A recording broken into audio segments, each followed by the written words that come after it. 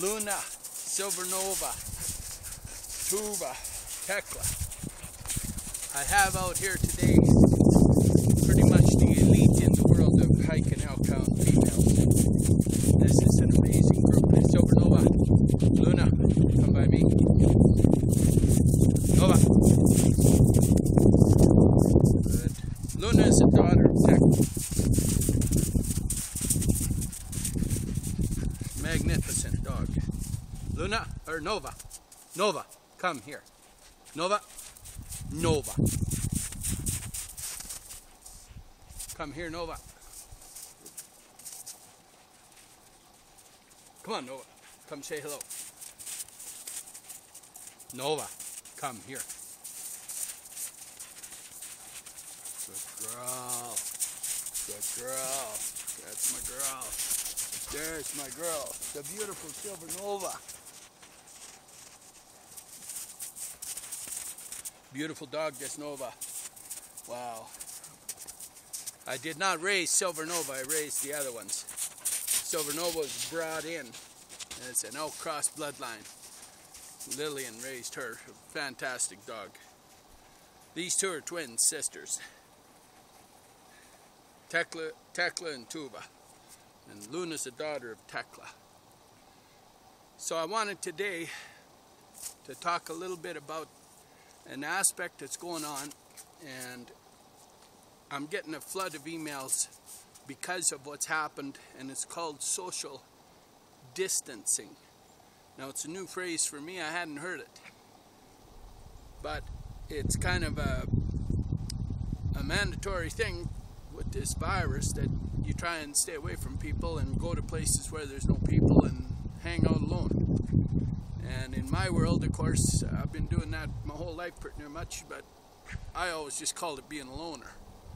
But I'm kind of like a foremost practitioner of social distancing because I don't see anybody, I don't go where anybody is, and I don't have guests and hang out with people and don't go where anybody is, and I'm hiking out here all the time.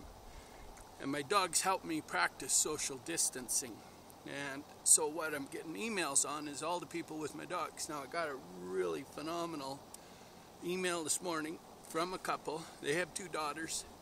The schools are closed, of course, so the daughters are at home. They're doing some online schooling, but they got they got time, and the time is got to have something to do with it. Now, a while back, they already knew that that they wanted to keep active as a family. I hope my uh, not too much wind. Anyway, they got a grandson or granddaughter of Tekla. It's out of Silvernova and Mon. And they emailed me such a beautiful story. So they're putting on their snowshoes and the girls and the mom and dad and they're hiking with that dog and they're everybody's happy to be out and doing it and they're practicing their social distancing with such fun, such excitement and so much joy and the fun they're having with that uh, that's enough. Come on, that's enough. Tekla's just uh, coming in to eat, so okay, get going, you guys. Luna, come here. Tuva, get out of here. Get going. Come on, Luna, come here. So anyway, there they wrote me a nice story and sent me great photos and videos and what a thing for them. It was such a, a bonus for them to have Oshikuma that they could be just doing their life, doing their thing, and it didn't uh, disrupt them hardly at all. I mean, they were just able to go out into the into the trails and snowshoe and hike and so on. Now I got another email not that long ago and the the same concept but it was a senior a lady and she lives alone. And she was so thankful to have her Kaya because here she is now nobody coming to see her nobody coming over. And she would have been watching the news and just getting more and more scared and all this stuff And now she's able to, you know, because she has the dog, she's not one of the seniors that's necessarily in that situation. She can just go out, walk down the trails real nice, and get fresh air and get her mind off things and get away from the news and the bad stuff and come back home and not have to be around people. She goes, you know, just for a nice walk because she's got a great dog, right? She can just go where people aren't and uh, trust in her dog, right? So it's really, really good. And it's just story after story that I'm getting um, uh, about this social distancing. And so I've been practicing it for a long time. I've been doing videos now for 13 years and talking about the same thing all the time. Just how the health benefits. I talked about those studies in Sweden where if you had a dog, you lived 30% longer, and if you had a hunting dog, you lived 40% longer. And right now, you got to stay healthy. You got to be as healthy as you can, especially when you're getting old. And uh, you get up into my age, you got to remain healthy. You got to stay strong, and and you do that, you know, uh, all kinds of ways. But I'll tell you what, you you get snowshoeing uphill. I'll tell you that's a pretty good workout, right? And uh, doing any kind of hiking out here in the bush is just an awesome thing. And no nobody comes out here. Now, BC's full of crown land, Canada's full of crown land, same with the U.S. They got uh, national land all over the place. And so it's not hard to do, right? You just walk out the door basically in almost any community and there's crown land not far away. And you can just have the use of it. You got to look after it, but you get free use of it. And so people need to start looking at those aspects. Now, we we have been pretty fortunate with our program.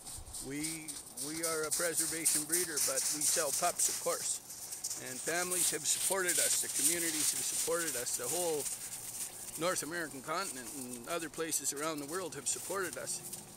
So we know things are a little tight right now for some families because restaurants close, uh, concerts close, any place with 50 people or more is closed. I mean, schools are out for crying out loud. Entire provinces shut down, emergencies. So I know there's families out there that would like to do what I'm doing and what I'm talking about, but they can't necessarily maybe do it financially all the way. So I'm going to make a program for three pups, and I'm going to help three families I'm going to do something. I don't know what I'm doing yet, but I'm going to help out in some way. And all they got to do is be really, really focused and interested and, and, and know a bit about the elk hounds and this and that. And get a hold of me, and we'll see what we can do together as a team between me and them. And I'll, uh, I'll help so that they can get out doing this. And uh, they got to have kids. It's, it's a requirement for my little program. They have to have kids and they have to have the ability to feed the dog and contribute some. So uh, I'm going to work with some families, uh, three of them. I've decided to do three and to see if I can't uh, make a contribution that way.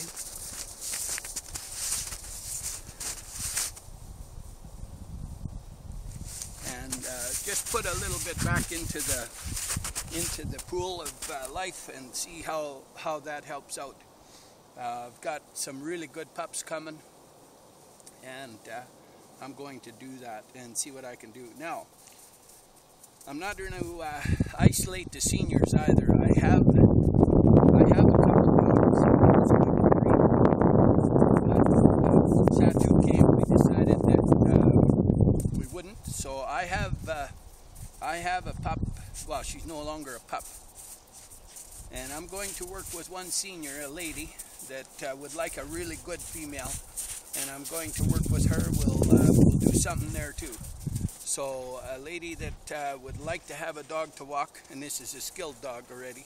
It's trained. It's two years old, and uh, Svea. So I will uh, I will work with a lady on that. So I'm going to put that on the website too. And it doesn't matter where you're from.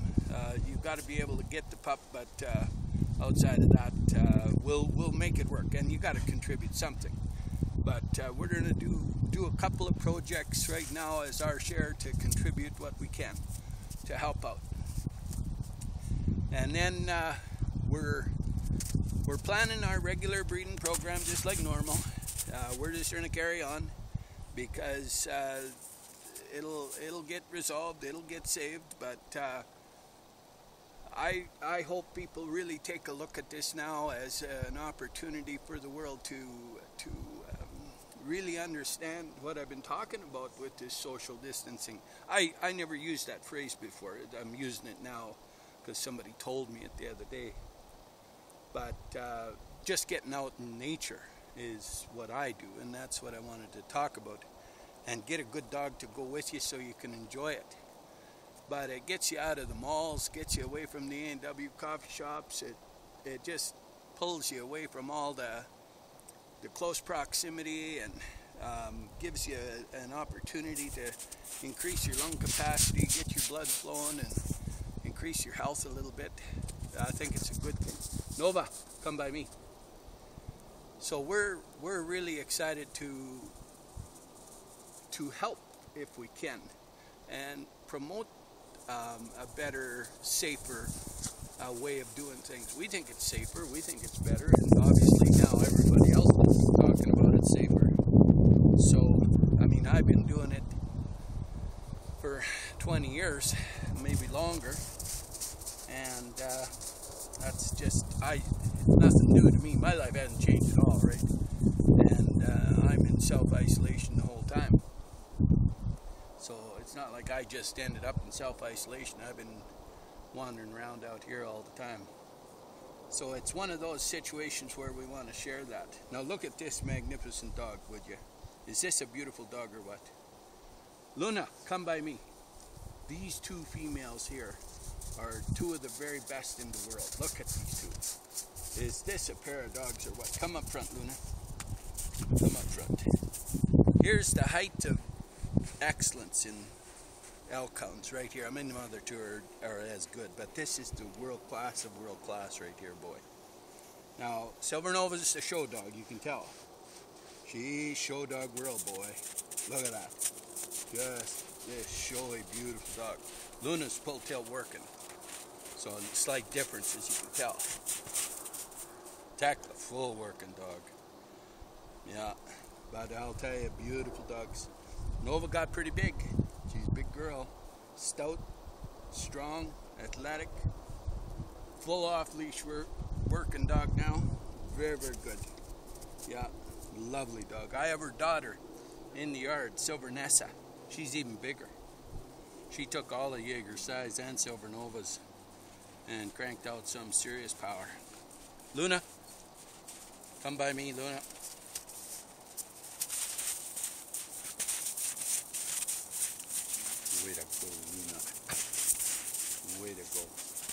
Tuva, I didn't want you back here. You're just acting goofy, Tuva. Get out of here, Tuva. So yeah, these are lovely, lovely females. So later on this year, this one, this one, and that one, Tuva won't catch again. I've tried four times to get her bred. So she's just going to get placed when Tekla's ready to go. I'll place them two as a pair. But uh, Luna, she's going to have another litter, honoring a breeder to the stud dog Karoo. So yeah, we've got some neat things coming up this year. I'm excited about it. We're going to help out. Anybody that wants to take it and talk to me about that program, they can call me. They can email me. All my stuff's on the website, Kamia Kennels. And uh, I'm looking forward to it. I think it's a good thing for families to be out. I got those awesome videos from that family and those photos, and I'll tell you what, I felt so great about that, and they were so happy and so thrilled, and it's just a, a great way of life for them now, and oh, it's good. And Luna's sister, Java, I got a nice uh, set of photos on her the other day too, and uh, they're the same way. They got the kids, and they're out hiking and biking and they're camping and and snowshoeing and they do everything with that dog and it's such a neat uh, thing to see So yeah, I'm very, very thrilled when I get those videos, and I I get so many of those letters. It's just unbelievable. So we're going to uh, do more on that. I think it would be awesome. And uh, we've got some really great pups coming. Kai has her litter on the ground now, and uh, Tika Montana is coming in uh, most likely. So pretty fun times ahead. All right, guys, let's get uh, let's get back on the trail.